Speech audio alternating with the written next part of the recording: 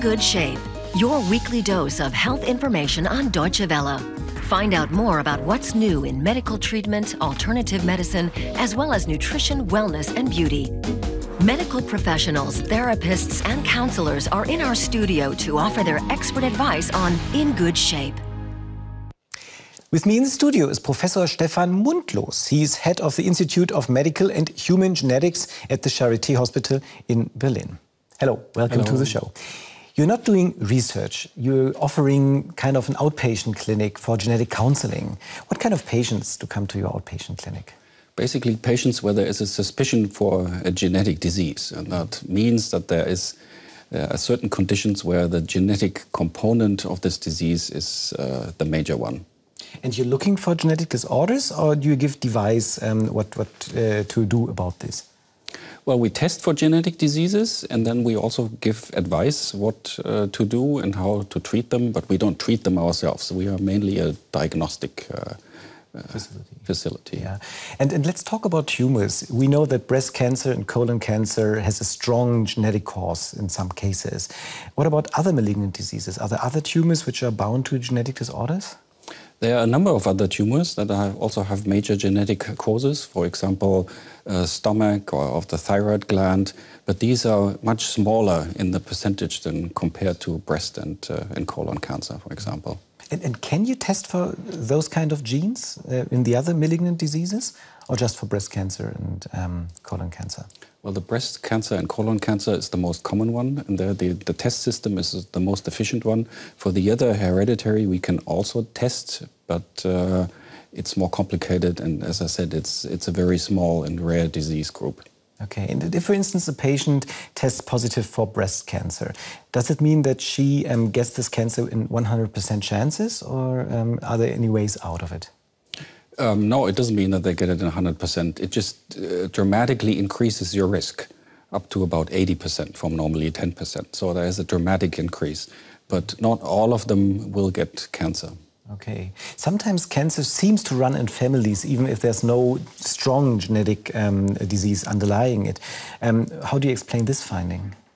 We see that quite often, that we have multiple different kinds of cancers in, in families, and there is certainly a genetic component in there, but at the moment, for the great majority of these families, we cannot really test for that because there are probably multiple factors, many genes that contribute to that. And, and the problem with testing positive for some certain kind of cancer is that you can't really change your genome. So, so what do you do, for instance, if you would test positive for colon cancer? Well, you can do additional testing, for example, via endoscopy and others, and uh, and with that you can detect cancer in a very early state, and you will be able to remove it, for example. So that will definitely help. And if you would not know that, you would not do that additional testing. So there are real therapeutic consequences um, you can derive from this kind of genetic testing. Oh, there are definitely uh, therapeutic consequences. Not in the way that you can eliminate it, but uh, you can test for it, and by that you can uh, try to uh, remove the tumor before it mm -hmm. gets really big and uh, cannot be removed anymore. So before it gets malignant and uh, maybe kills you, you can just remove it in a very early stage. Exactly. Yes. Okay. We got a viewer question from New Zealand. Our viewer Rosalind Sutherland wants to know that um, her parents suffer from high blood pressure, hypertension, and she, as a patient, suffers as well from high blood pressure. Is this a genetic cause? Well, high blood pressure has a high genetic component, and if her, both of her parents suffer from that condition, then the likelihood that she has it too is quite high. But there are no simple genetic tests for it because there are probably many different factors and genes that contribute to it. So it's not just one gene that codes for high blood, high blood pressure? Exactly. Yeah. There are several ones, and we can't test for that at the moment. And, and how high is the risk that um, Rosine passes um, the high blood pressure on to her daughter? Well, I would think that also depends on the father of her daughter. If he has a high blood pressure too, then the risk is relatively high. If he doesn't, then it sort of mixes up again, and that certainly reduces it. Uh, generally spoken, how should someone react when there are certain diseases run in the family? Should I go and see my GP and talk with him about it, or should I go and see a geneticist?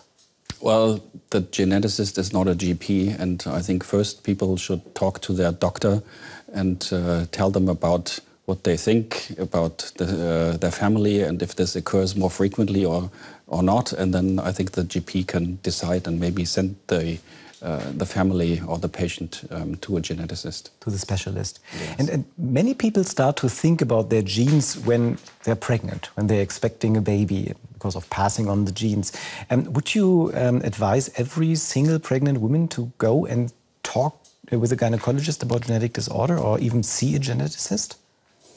Well, she would. She should uh, certainly talk with her uh, gynecologist about the possibility of genetic testing, mm -hmm. and uh, if genetic testing is performed, then she should talk to someone who knows how they work and who can explain it to to her. That could, can be the gynecologist, but can also be a geneticist. And it's not all about genetic diseases for the newborn baby. We got a viewer question from Norway. Sade Sutai Jesko from Norway had unfortunately two miscarriages in her past. And now she wants to know if she's at a high risk for a third miscarriage and um, if this could be genetic. Well, generally, miscarriages are quite common. So uh, that is um, certainly something that happens quite often.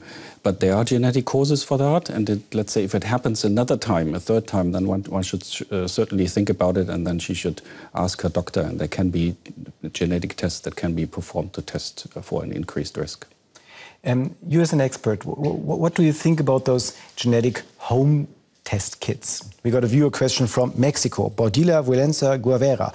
She learned about a genetic test kit for at home. Just put some saliva on a stick and send it to a lab and, and see what's in your genes.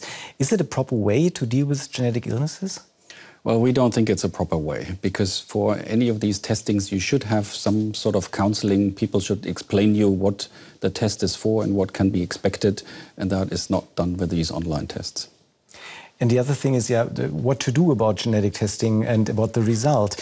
Um, do you think it's it's wise for, say, a 20-year-old to know that he or she will get Alzheimer when she's 80?